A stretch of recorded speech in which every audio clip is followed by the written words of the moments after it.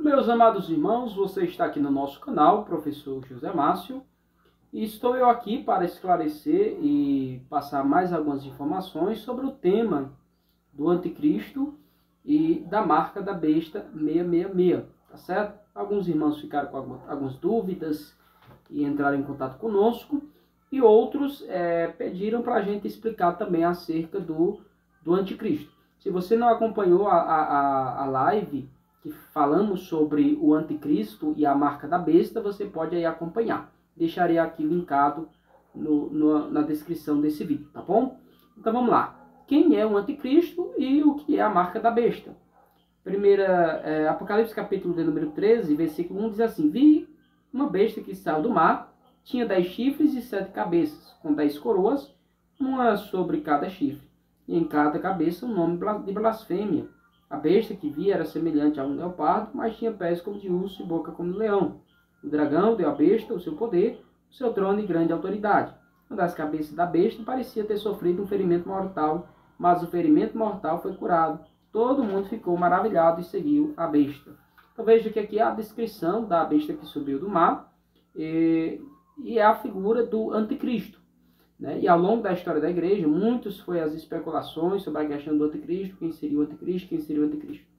Mas, amados irmãos, uma regra da hermenêutica, que inclusive estou analisando isso nesse livro, ó, A Espera Hermenêutica, de Grant Osborne, diz que nós precisamos interpretar o texto é, de acordo com o seu contexto e nós temos que entender que nós não, é, João não escreveu para nós esse livro, né, a princípio, o Espírito Santo adapta para nós e tudo, mas a gente entende que João escreveu para um tempo, para uma época e para pessoas que viviam problemas na sua época. Então vamos lá. É, quem seria o anticristo? Essa é a grande pergunta. O anticristo, então, se é, precisa contextualizar com a época em que João vivia, nós podemos dizer que era Domiciano. Né? Domiciano que era ali o imperador, o imperador cruel, cruento, que mandava matar os cristãos e que se comportava contra Cristo. É a palavra anticristo, contra Cristo, alguém que é avesso a Cristo, alguém que não gosta de Cristo, né? O prefixo a de negação mostra a oposição a Cristo, né? Então Domiciano seria então o anticristo ali do período de João. Porém, antes disso, ali por volta de, de 60, da década de 60 do primeiro, da, do primeiro século, tem Nero também, o imperador Nero César, que também é um tipo de anticristo. Por que nós queremos dizer isso? Por que nós podemos dizer isso? Por que nós podemos afirmar isso?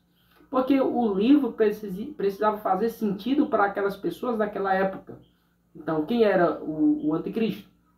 É Nero, o anticristo Domiciano e possivelmente, né, com certeza, surgirá um anticristo aí no, no, no final, né? Nas últimas, nos últimos dias é, da humanidade. Meus amados irmãos, então vamos lá.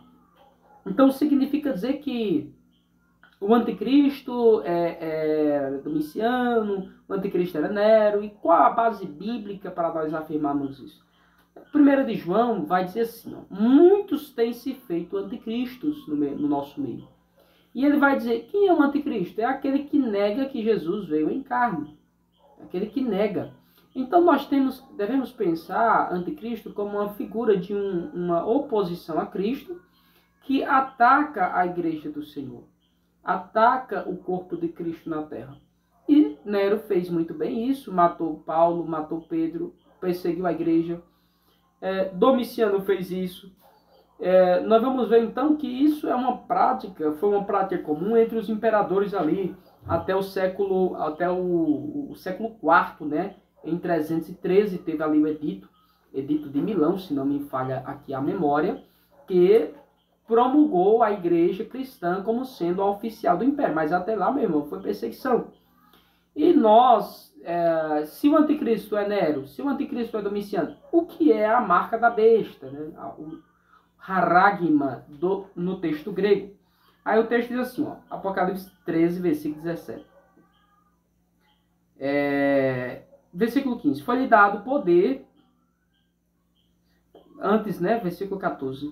Isso mesmo.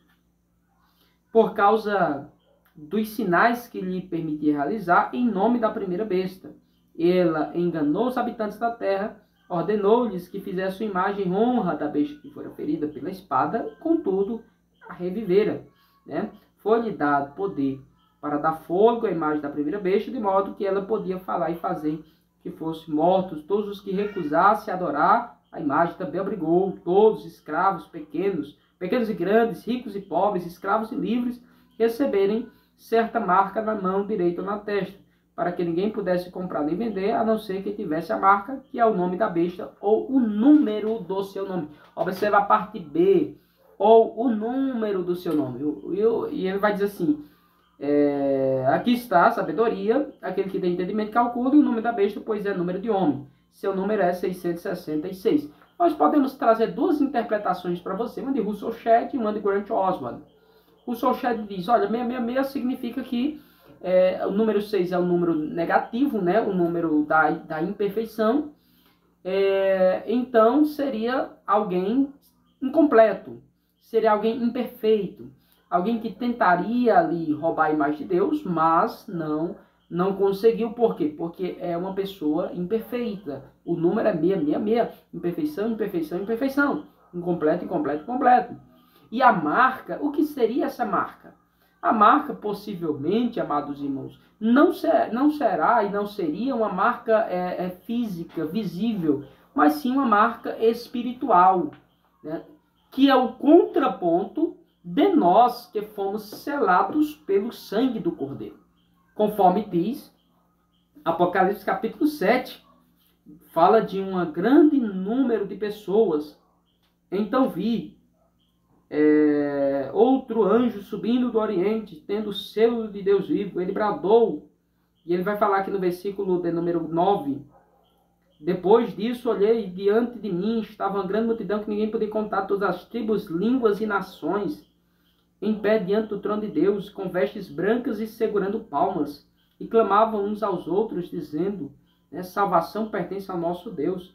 E ele vai dizer então que aquela, aquele aquela, aquela grande multidão, foram os que foram selados né, pelo Cordeiro. Versículo 14 diz muito bem isso.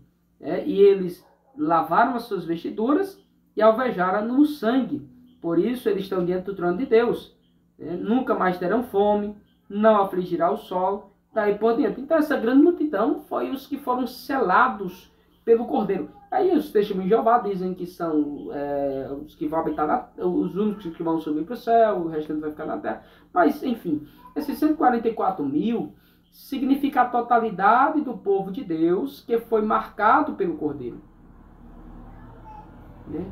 A totalidade do povo de Deus que foi marcado pelo Cordeiro.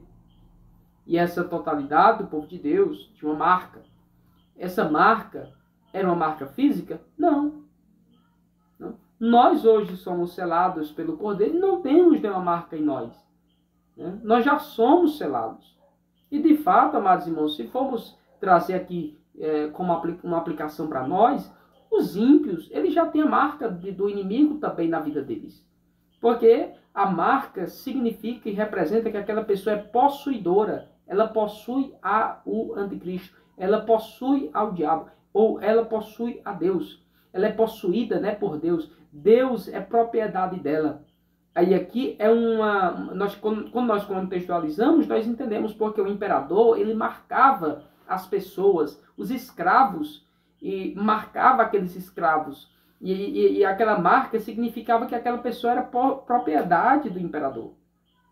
Deus, da mesma forma, nos marcou com seu sangue, nos mostrando que nós somos propriedade exclusiva de Deus.